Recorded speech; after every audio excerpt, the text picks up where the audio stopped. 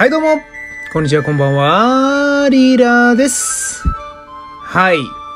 日はね、えー、週刊 MTG 注目カードランキングの9月1週目の紹介をしていこうと思います。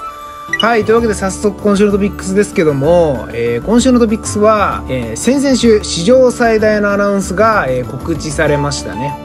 はい。というわけでね、ちょっとね、あの、先週動画投稿できなかったこともあって、1週間ね、タイミング遅れてしまったんですが、えー生放送ね、来てくださった方、ありがとうございました。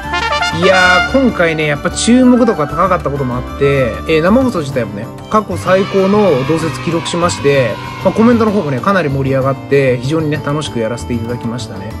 で、まあ、しかしね、やっぱ内容に関してはあれでしたね。ちょっとやっぱ過度な期待をしすぎたのかなっていうような印象で、まあ生放送中にもね、言いましたけども、まあ正直こういうね、あの課題広告的な売り文句って、まあ他のメーカーとかではよくある話なんですけども、まあウィザーズがね、その日本向けにそういった告知をするってことが過去になかったんで、まあ僕も含めてね、多くのユーザーが、まあ今回は反応しすぎちゃったのかなというふうには思いますね。で、まあ実際ね、内容自体は、まあやはりね、来年の販売スケジュール関連がメインだったわけですけども、まあなかなか面白そうなセット多いですよね。まあ個人的にはやっぱね、ウルザ兄弟の、えー兄弟喧嘩と、あとはまあ新たなね、統率者レジェンズ、こちらもかなり楽しみにしてますので、まあね、来年のマジックも引き続き楽しんでいけるのかなというふうには思いましたね。はい。で、二つ目のトピックスですね。えー二つ目のトピックスは、えーイニストラード、真夜中の狩りのスポイラーが公開され始めましたね。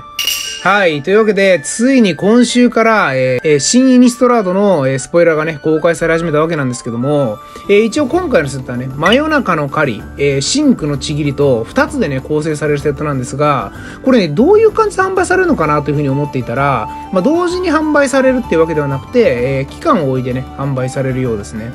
で、まあ、真夜中の狩りに関しては、えー9月24日発売。で、シンクのちぎりは11月19日発売ということで、まあ、期間的にはね、通常通りというか、まあ、2ヶ月のね、スパンを空けて販売されるというような感じになりますね。まあ、なので、まあ、もしかしたらね、1セットごとのカードの種類がね、もしかしたらちょっと少ないみたいな可能性もあるんですが、えー実施時スタンダードセットは、えー今年は5種類になるというような認識なんですかね。で、もうね、実際スポイラー公開され始めてるわけですけども、え、なかなか面白そうなカード多くてね、まあ、個人的にはね、あの、え、インストラード大影の時は、まあ、割とね、がっつりスタンダード遊んでたこともあって、まあ、当時をね、思い出すようなカードもあって、結構懐かしさも感じつつ、え、これ結構強いなって思うカードも多かったりするので、まあ言ってもね、まあ今週始まったばっかりなので、まあ来週からね、さらにまた多くのカード公開されると思いますし、えーまたね、みんなでプレビューウィークを楽しんでいけたらなというふうに思います。はい。では早速今週の注目カードランキングに参りましょう。えーでは早速今週の第5位ですね。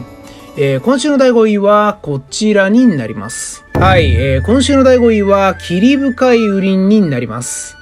えーこちらね、もう説明不要な、まあ、最も使用されているフェッチランドの一つになっている霧深い雨林なんですけども、まあね、フェッチランド関係に関しては、まあいつでもね、注目度が高いカードではありますが、えー特筆してね、何かが今あったっていうわけではなくて、今回ね、ちょっと個人的に紹介しておきたいなというふうに思ったので、ピックアップさせてもらってるんですけども、えー一応ね、現状の、えーこちらの採用率確認してみたところ、えー現状モダンでは採用率30%で最も使用されている年第7位、そして、レガシーでは採用率45%で第3位となってるんですよね。まあ、ということで、現状ね、めちゃめちゃ採用率の高いミスティなんですけども、えーモダンホライゾン2で再録されたことで、だいぶ価格が落ち着いたカードですよね。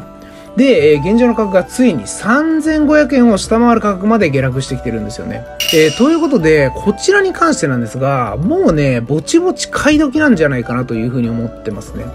で、理由なんですけども、まあ、例にもよってね、まずちょっと海外の価格見ていただきたいんですけど、えー現状海外の価格は35ドルということで、えー別に海外の方がめっちゃ上がってるっていうわけでもないんですよね。えーでもそれでもなお、えー買い時ということに関しては、まあ、正直このね、ミスに限ったことではなく、対抗色フェッチ全体に言えることなんですけども、えー今がね、いわゆるそのそこに近しい状況なんじゃないかなというふうに思ってるんですよね。で、その理由に関しては、まあ、モダンホライズン2がね、発売したから約3ヶ月が今経過していて、えーやっぱり供給量っていうのはもうじわじわ下がっていくというのが1点。で、そして、まあ、今のね、有効色フェッチを見ていただければわかる通り、まあ、結局再録されて下がっても、まあ、時間が経ち、再録されればまた高騰するんですよね。で、この対抗色フェッチランドに関しては、えー、シークレットレイヤー、そして、まあ、モダンホライゾン2なので、もう当分ね、本当に期間で言うんだったら、1年2年ぐらいは再録来ないと思っていいと思うんですよね。で、なので、まあ、もちろんね、このままちょっと下がっていくっていう可能性は全然あるんですけども、まあ、次にね、高騰し始めた際に、現状の今の3500円って価格よりも、確実に高い価格まで高騰するだろうなというふうに思ってるので、えー、今迷ってる方、もしくは欲しいと思ってる方に関しては、購入しておいてもいいんじゃないかなというのが僕の意見になります。まあ、あと特にね、フェッチランドに関しては、本当に全カードの中で最も需要の高いカードの上位に入ってくるようなカードなので、まあ、価格のね、乱高下がしづらくて、まあ、底堅いっていうのもやっぱり安心ポイントなのかなというふうにも思いますね。えー、よって基準としては、えー、3500円以下であれば買い、えー、4000以上で売るぐらいの基準がいいんじゃないかなというふうに思います。はい、では続いて今週の第4位ですね。えー、今週の第4位はこちらになります。はい、えー、今週の第4位は蒸気口になります。えー、こちらはね、かなり意外で、実は初登場なんですよね。まあ、ただし、もう誰しもが知るカードで、効果としては、えー、このカードがバネディルに際し、2点ライフを支払ってもいい。えー、そうしないならこれはタップ状態で出るよということで、いわゆるパイオニア、えー、モダンのマナベースを支えるショックランドと言われる土地ですね。えー、今そのショックランドの中でも、えー、この赤尾のね、蒸気口の注目度が徐々に上がり始めてるような状況で、えー、理由としては、え現在のね、メタゲームの中で、まあ、特にモダンでの、え EZ 系のデッキの支配率が上がっていることが要因かと思います。で、代表的なデッキとしては、えカウンターモンキー、そして、え不屈の独走力、あとは、えカスケードクラッシュなど、え名だたるね、トップメタのデッキに採用されてるんですよね。でその結果、えー、現在採用率36%で、えー、モダンメタゲーム内で最も使用されてる土地、えー、第3位となっていて、え、モダンで使用されているショックランドとしてはナンバーワンという状況になってますね。えー、そして、あとはまあ、モダンほどではないんですけども、えー、パイオニアでの採用率も高く、えー、現状採用率は19%で11位という形になってますね。えー、よってこれらの要因により、えー、価格がじわじわと上がっていって、現在の価格が1880円という形になっております。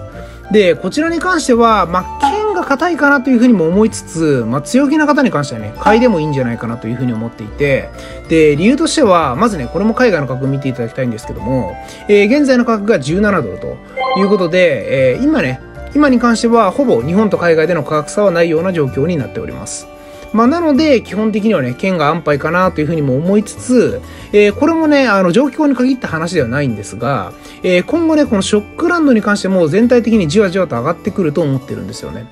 で、理由なんですけども、えー、理由としては、えー、ラウニカのギルド、検診が、えー、スタンダード落ちしてからもう1年以上がね、経過していて、え、直近でね、そのシークレットレイヤーでの再録という形がありましたけども、え、絶対数を考えると、いや、おそらくね、価格に影響を与えるほどではないと思いますし、え、もうすでにね、販売は終わってしまっているので、やはり今後は上がってくる可能性の方が高いんじゃないかなというふうに思っているところが大きいので、え、買いでもいいんじゃないかなというふうに思います。えー、よって基準としては、えー、1800円以下であれば買い、えー、2300円以上で売りぐらいの基準がいいんじゃないかなと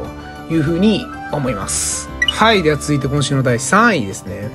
えー、今週の第3位はこちらになります。はい。えー、今週の第3位は、狼狽の嵐ですね。えー、こちらもね、意外にも初登場のカードなんですが、えー、効果を説明すると、1マナのインスタントで、インスタントが操作リーである呪文を対象として、それのコントローラーが1マナを支払い限りそれを打ち消すよと。で、それにストームを持っているよと。いうことで、まあ、インスタント操作にね、限定ではありますが、えー、10でね、ストーム付きのカウンターということで、まあ、かなりね、珍しいカウンターなんですけども、えー、今ね、こちらの注目度が海外を中心として上がってきてますね。で、理由なんですけども、えー、一つはモダン需要の増加ですね。えー、こちらに関しては、もともとね、エターナル環境でしか使用できなかったカードではありましたが、えー、モダンホライゾンのね、ボックス特典で封入されたことから、えー、モダン環境でも使用からのカードになっていて、えー、モダンホライゾン2以降の、えー、モダン環境では、えー、続賞だったり、えー、先ほども紹介した複数の独走力など、えー、ゲームを決定づけるインスタント操作が増えてきてることにより、えー、サイドボードに採用されているケースが多くなってきてるんじゃないかなというふうに思いますね。で、そしてもう一つは EDH 需要の増加ですね。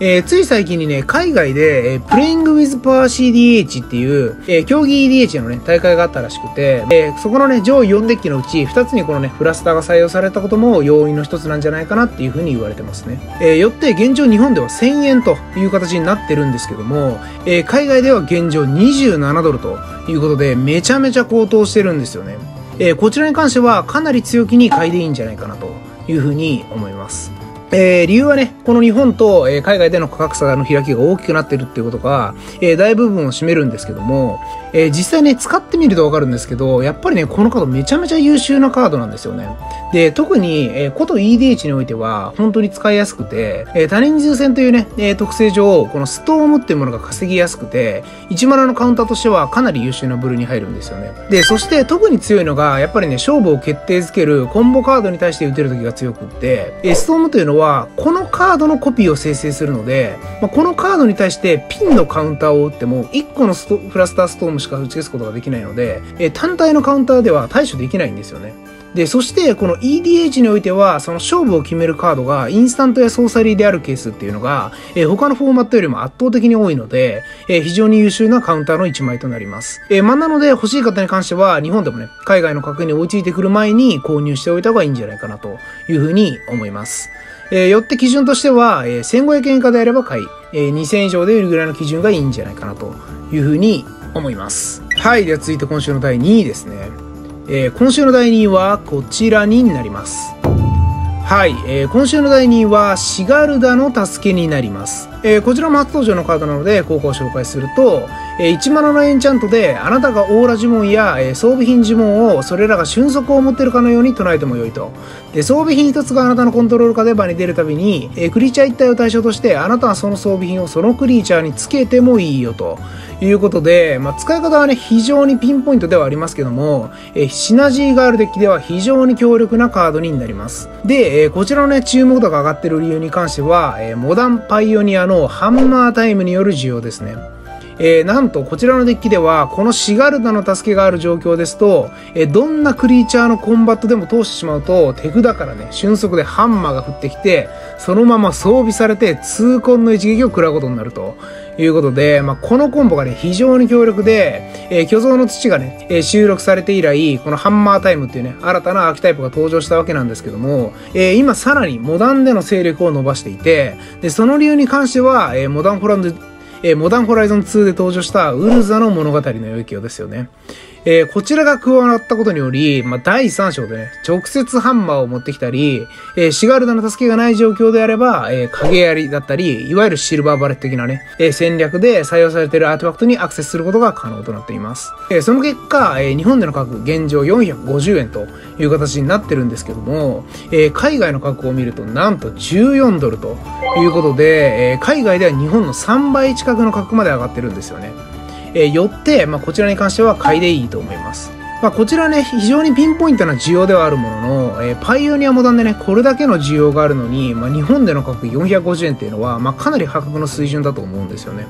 で、もちろんね、こちらに関しては EDA 需要もあるカードで、まあ、今後もね、えー、白絡みの装備品関連のジェネラルがね、登場するたびに需要は上がっていくので、まあ、今のうちに確保しておくっていう選択肢も全然ありなんじゃないかなというふうに思いますね。えー、よって基準としては、えー、700円以下であれば買い、えー、1000円以上で売るぐらいの基準がいいんじゃないかなというふうに思います。はい。では続いて今週の第1位ですね。えー、今週の第1位はこちらになります。はい。えー、今週の第1位は黄金化のドラゴンになります。えー、こちらもね、初登場のカードなので、効果を紹介すると、えー、5マナ44飛行速攻を持つドラゴンで、えー、このカードが攻撃するか呪文の対象になるたびに宝物トークンを1つ生成するよと。で、あなたがコントロールしている宝物は、えー、タップしてこのアーティファクトをゲネ下げることで、えー、好きな色1色のマナを2点加えるを持つと。ということで、カルドハイムでね、登場して以来、主にね、スタンダード環境で猛威を振るってるこの黄金化のドラゴンが、えみるみるうちに価格を上げ、なんと、え現状4500円を超える価格まで値上がっております。で、個人的にはね、これ本当にすごいことだと思っていて、まあ一般的にね、5マナのカードでここまで値上がるってこと本当に珍しいんですよね。で、最近で言うと、まあ最近じゃないですけど、あの、5テフェ以来とかぐらいじゃないかなというふうに思いますね。まあ、やっぱりね、その5マナまで来てしまうと、いわゆる下環境と呼ばれる環境では、まあ、なかなかね、採用しづらいですし、えー、まあ、スタンダードやね、そのパイオニアまでの需要で価格が形成されていく中で、まあ、その2つの需要だけで4750円までの価格上がってるっていうことは、えー、こちらが今ね、環境を定義するカードの1枚になってることは間違いないと思います。で、あとはね、このイニストラードが発売されることによって、スタンダードのね、ローテーションが起こるので、まあ、今回スタン落ちしないカルドハイムのカードということで、まあ、今後ね、より採用率が上がるだろうというところからも、えー、需要が上がってる部分はあるんじゃないかなというふうに思いますね。で、まあ、現在ね、使用されてるデッキとしては、えー、アグロだとグルール、そしてナヤ、あとコントロールでは EZ などに採用されていて、えー、どれもメタ上位に君臨するデッキであることから、えー、採用率が上がっており、えー、現在スタンダードで最も使用されているクリーチャー、えー、26%で第7位と、というところまで上がっておりますね。で、こちらに関しては、まあ、正直ね、まだ上がっていく可能性ってのはあるんですけども、えー、基本的には売り目線がいいのかなというふうに思っていて、で、理由としてはね、まず海外の価格見ていただきたいんですが、えー、現状海外の価格が、えー、約42ドルと、いうことで、まあ、ほとんどね、価格に乖離はないんですけども、ちょっとだけ日本の方が高いというような状況ですかね。まあ、なので、正直まあ、県でも全然いいとは思うんですけど、まあ、現状ね、やっぱり新環境のスタンダードでの、えー、期待感から高騰しているっていう可能性も高くって、えー、現在のね、えー、採用率から、まあ、使用されてるね、えー、フォーマットの割合を考えてみると、まあ、大体スタンが7割。そして、パイオニア2割、そして EDH1 割ぐらいのバランスなので、もしね、このスタンダードでの新環境についていけない場合に関しては、一気に価格が下落することになると思うんですよね。まあ、正直、まあ、これはね、気有の可能性は高くて、まあ、今のね、実績を見ると、えー、その可能性は低そうではあるんですけども、まあ、やっぱりね、あの、未知の環境っていうところもあって、えー、可能性はゼロではないので、そのリスク自体は認識しておいた方がいいのかなというふうに思います。で、あとは、えー、このね、割合を見ていただければわかる通り、えー、もしね、この黄金花のドラゴンがスタン落ちした場合に関しては、えー、間違いなく下落し、え確実に半額以下までは、え価格は落ちると思います。まあさすがにね、今から、え次のスタン落ちをね、意識するの早すぎるだろうという方もいるとは思うんですけども、まあ正直そこを今意識したいというよりは、え将来的にそうなることを考えると、え今需要が高いうちに売っておくっていう選択肢が一つ正当化されるんじゃないかなというふうに思いますので、え不要な方に関してはこのタイミングで売ってしまってもいいんじゃないかなというのが僕の見解となります。えよって基準としては、え4000円以下であれば買い、4500円以上で売りぐらいの基準がいいんじゃないかなというふうに思います。はい。というわけで今週の注目カードランキングは以上となりましたが、いかがだったでしょうか？えー、今週はね、えー、引き続きまあモダン関連中心のランキングとはなりましたけども、まあ、えー、久しぶりにね、えスタンダードだったり、パイオニア需要があるカードにも注目が集まった週になりましたね。まあ来週以降に関してはね、またイニストラード関係で注目度が上がるカードも多いと思いますし、えよりね、若いフォーマット関連で注目されてるカードも出てくるんじゃないかなというふうに思いますので、えそちらも引き続き注目していきたいと思います。はい。では、この動画が良ければ、えー、チャンネル登録、高評価、コメントの方もよろしくお願いいたします。じゃあね、バイバーイ